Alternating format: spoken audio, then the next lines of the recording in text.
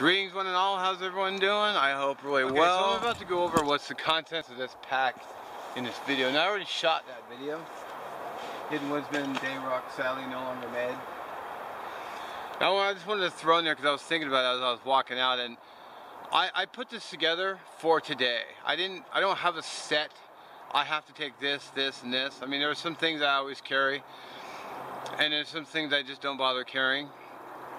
So this is for today. This is not something that I carry every time or on every single outing. Now some of this, a lot of the stuff I have in this pack is stuff I use all the time because you know I don't buy gear just to go hey look at this item and you'll never see it again. I always carry like I've been carrying this knife consistently in several videos because it's my food prep knife. And actually this is the first time I pulled it out since I started so and I'm almost done with the hike so cooked a little lunch, did a little hike. So yeah, so specific for today. So if you're looking at the comments like, hey, how come you don't have this and this and this? Well, that's why, because it's, it's for the day, not for anything else. So just want to throw it in there and enjoy Man, the I tell you, this freaking place. It's like literally, I was over on the other trail, and I thought, hey, it looks like there's some nice flat spots over here. Maybe I can kind of tuck in there and maybe do a video. And it just takes you right back to the trail. It's not a very big place, but it's it's very windy.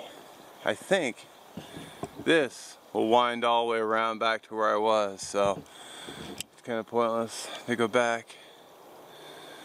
Although I may have missed a I may have missed a crossroads though too.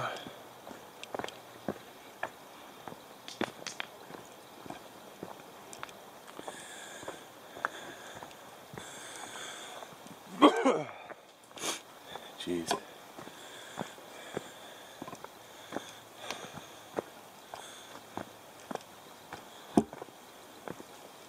See, stuff like this, it's like, if I cross through here, I bet you I'd end up at a trail. In fact, let's go ahead and do that. I'll just show you what I mean.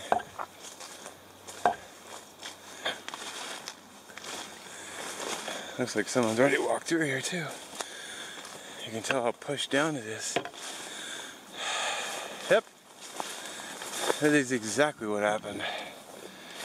I literally just straight through.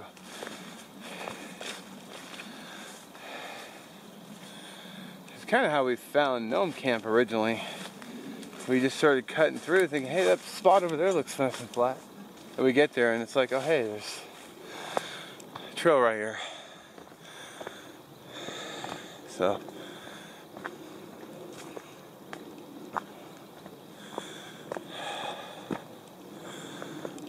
Maybe I'll end up back at Gnome. I don't know though.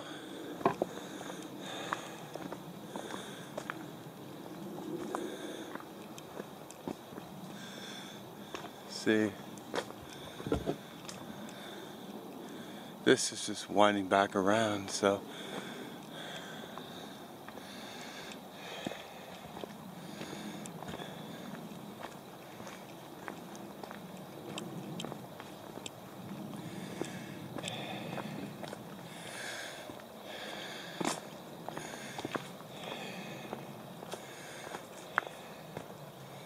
I don't know why people are cutting through there. You can't actually see the trail from this side though. So, it's all good. Good times. Feel a little bit of sweat going, so that's the whole intended purpose.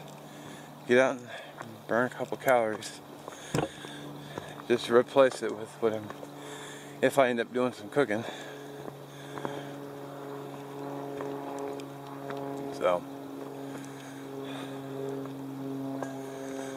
Pretty nice trail though, really.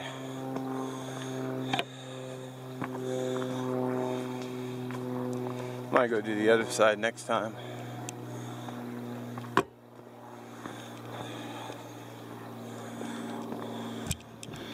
Well, that kind of sucks. I literally just looped around the same place I just cut through.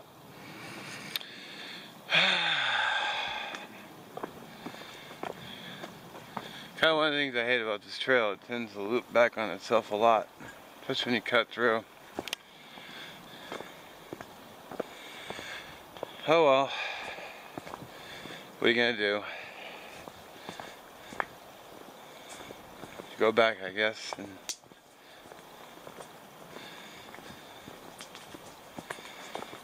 try a different angle.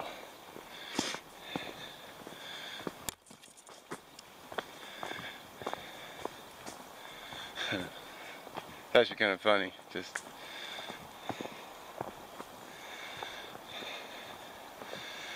should be called the Deja Vu Trail. Like, wasn't I just here? Oh yeah, I was just here. That's the same trail I was on before.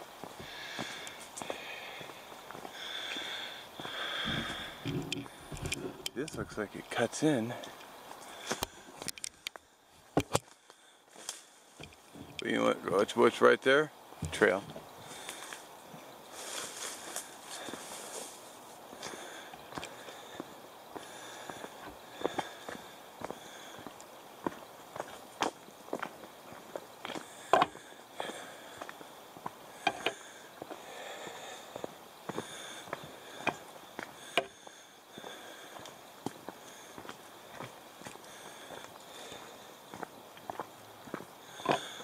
Okay, well, yeah, literally, because it sweeps around. I could have just cut through and saved some time.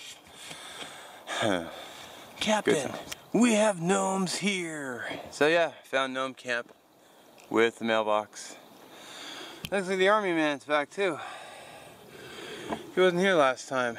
Rock on. Now let's check the mailbox while we're here.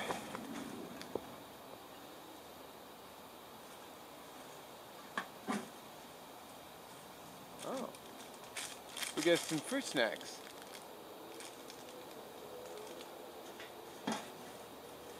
My business cards are still here. I'm going to move them up to the front. And I'm going to leave the fruit snacks. Ah, there we go.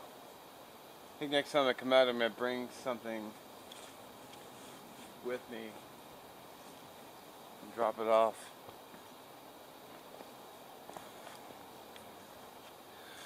I guess I'll go into the all too familiar camp. A lot of you are probably wondering what I always bring with me, gear-wise. So of course I got my Cabela's three stool, or three-leg stool. I have a those blue coffee mugs.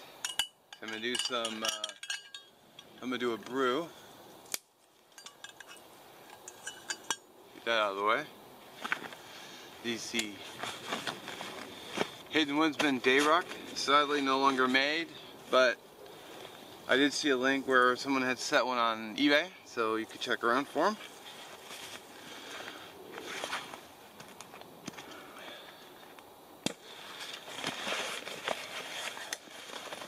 Now I'm not uh, prepared to spend the night. I don't have gear to do so just so you know. I have a just a ferro rod and a lighter and that's it. Camera batteries so the filming can continue. In this front zip pouch I have a bandana. Some tissues because I'm always blowing my nose. And I have a a Bridgford cinnamon bun, which I'm going to eat with my coffee. I have a rain poncho in case things get wet, although I could use this as a shelter if I had to. My Hidden Woodsman prototype Possibles pouch, which I have some toilet paper in case things get messy. My titanium spark, a knife, winger blade still unused hidden woodsman signal panel My Mora Black with ferro rod. Great knife. And a very large bandana. Like one of those really big ones. Oh, and I had a little pepper thing in here. Forgot that was in there. Probably fell out when I was doing my last vid. Keep everything conveniently just stored inside here. Okay. Pair of gloves. Just, I didn't plan, I'm not making a fire, but I brought gloves anyway. Some ramen. Some fuel for my stove. Nalgene full of water. In here? Oh. I threw a trash bag in because I wasn't sure if the ground was going to be wet. So theoretically, I could do shelter, but I would be pretty miserable, I think. Although I guess it's about making it through and not necessarily about being comfortable, I guess. Maybe one cold night. And then I have this. This is a stake bag. I saw in the Real 111 Tees video. $1.99 for this bag. So I bought two of them because, you know, at that price, why not? And it was like $3 for shipping. So in here I have my my lunch, which is going to be soup, and I have some hot chocolate and some coffee with a little bit of sweetener.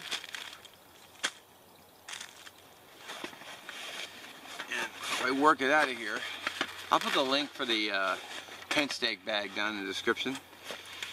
I just found this really nice way of carrying my Snow Peak Kettle 1. So this is a bag. I mean, that's my big, I have large hands, so let's see. Size comparison. My little drawstring on the top. And I got a couple creamers for my coffee. My Trangia stove. And my $1.49 stove stand, which I've shown on video before, fits inside the Snow Peak kettle just perfectly. So, now I do is I just drop in the fuel, the thing, pop those in, and then the whole thing I just stuff inside the bag, which can be a little tedious, because it does fit, it's just, uh, it's a tight squeeze. You saw how easy it popped out, but to go in, it's you kind of have to work it in there.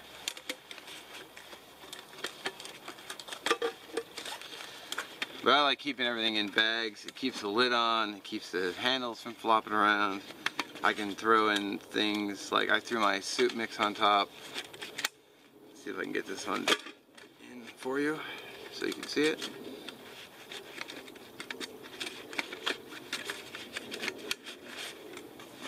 There you go.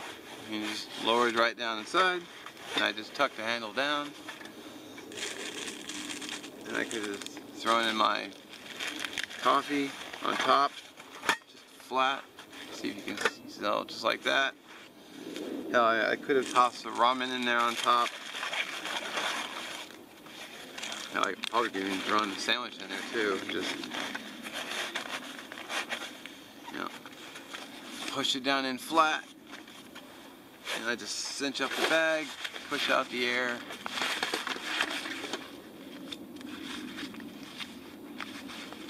I just do a simple little, I just wrap it around once.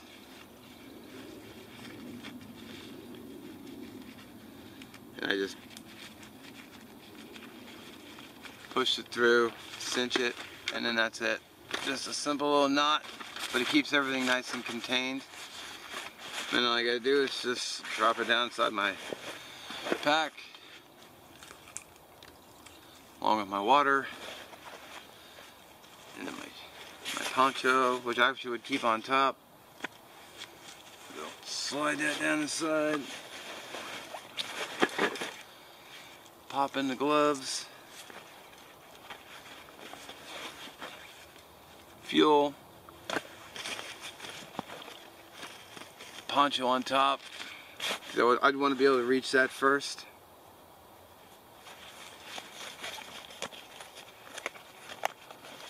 Then I just shut her on up.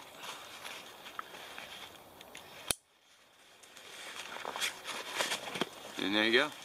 Simple, easy, Hidden Woodsman Oh, that's some garbage I left behind in my last outing. Shameful of me. I will have to pack that out of here. So, that is today's loadout. Pretty simple. Nothing too complicated. So,